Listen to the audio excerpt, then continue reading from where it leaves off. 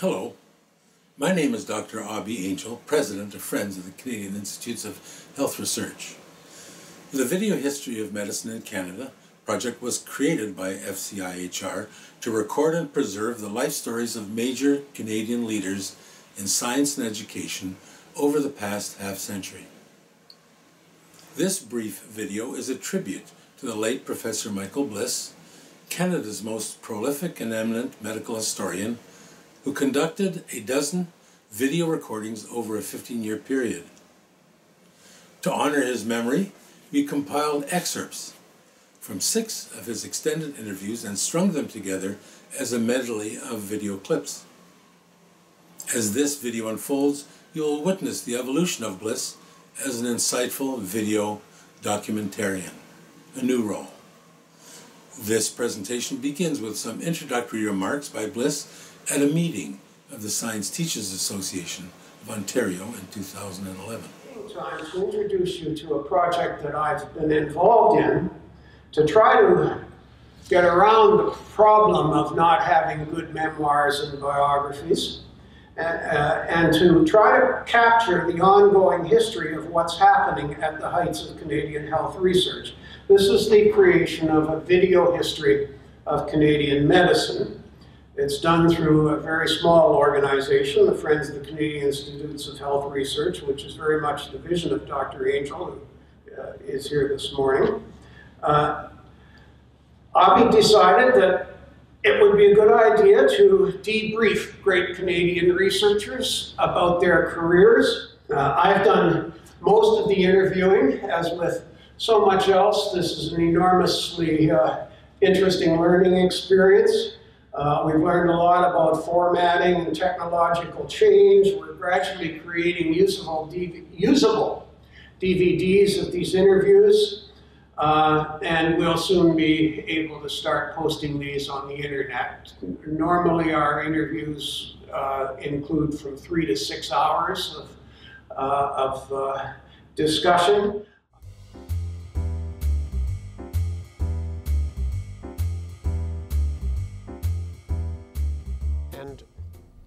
Take me then through the progress from zoology to becoming a doctor at the University of Manitoba also, behind the scenes, you're beginning to have discussions about updating the strategic plan. Mm-hmm. And uh, I was able to be at some of those early meetings uh, that autumn of 97. And it's my memory that that's when you first started talking about seriously about the Institute's idea. Be- began to, to think about it uh, more seriously, and it was motivated in part by through again friends, mm-hmm. friends of MRC. Yes, mm-hmm. yes. Well, when you were going through this period, yeah. you were moving very quickly. I mean, one of the issues was. Uh, whether the new institutes would replace the MRC, and at what point had you decided to, in effect, bet the whole council? Was this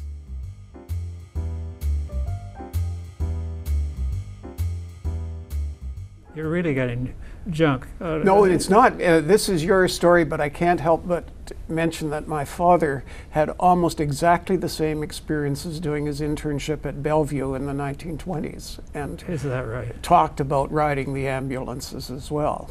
Um, well, I tell you, it, it was part of the culture at that stage, and racing up the the steps. I did a lot of deliveries uh, because they were home deliveries, and but they tried to have somebody there to make sure that if there was a, a problem that they got them into the hospital. Turning to back to Toronto and uh, the building in which we're having these interviews, the Mars Complex, mm. uh, how do we segue from your involvement with CFI to your very intense involvement with Mars?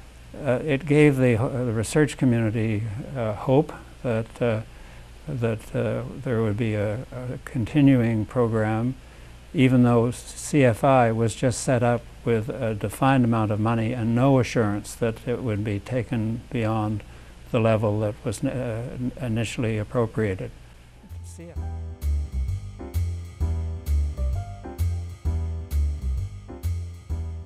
Tell me about that era of transplant work, which to people watching you, watching this interview as the years go by, will seem like a medieval period or a dinosaur age.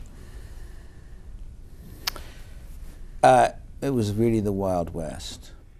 In the 1970s, now at Western, you're beginning your uh, attempt to understand and explore the rejection phenomenon. Do you want? Can you tell me how that work develops?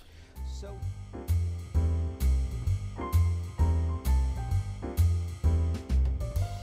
you are at New Haven in the in the 1950s, and you are um, uh, taking advantage of opportunities down there. You're anxious to finish.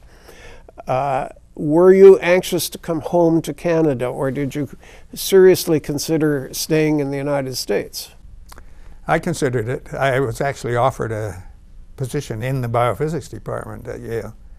And, uh, Tell me, uh, before we go into more detail about the progress uh, and development of your research, tell me more about the Toronto situation as you experienced it when you came back in the 1950s. You've said a few things about the Ontario Cancer Institute. I have the impression from uh, other memoirs, including Lou Siminovitch's, that this was a, a, an almost golden age for young researchers in, in biophysics in Toronto. Is that your, your memory as well? Absolutely. I, I like Often in these kinds of research, great research adventures, um, there are times of great disappointment um, when the experiments fall apart, they're on the verge of failing. As you look back on this story in the 60s, it looks as though you didn't have particular crises like that. Um, well, I don't know if one would call it crisis, uh, a, a, crisis, but we did periodically have policy decisions to make. Would we?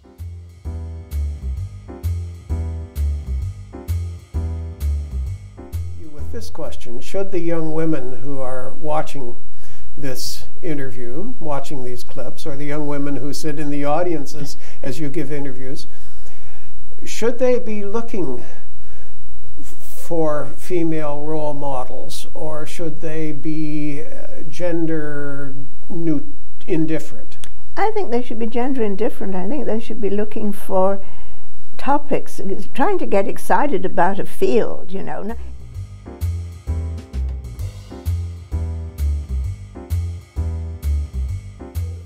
If we wanted to read about the world you came from, I suppose we'd find it in Mordecai Richler's Absolutely. writings and Mordecai became a very good friend.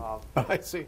Before before we talk about the um, the next stage after yep. you've you've published uh, the big article in '65, mm-hmm. uh, let's double back and talk a bit about um, the the broader picture of your life as you're doing this research. Right. Because you're so ob- you're, you're you're so keen to tell me the story. What I want to know is what was happening. The rest the of my rest life. Of, the rest of the story. Right.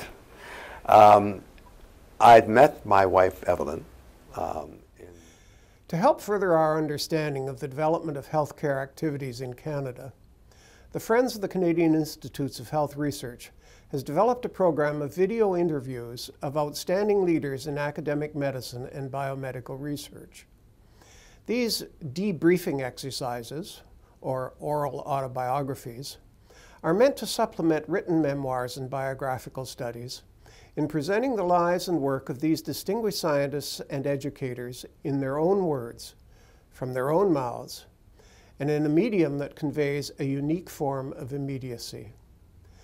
These are real encounters with real giants of Canadian medicine, talking to us and to generations to come about their lives and their careers, about their quest for excellence. For the Friends of CIHR and our sponsors, I'm Michael Bliss. Friends of CIHR is grateful to our many sponsors for financial contributions and support of the Video History of Medicine project.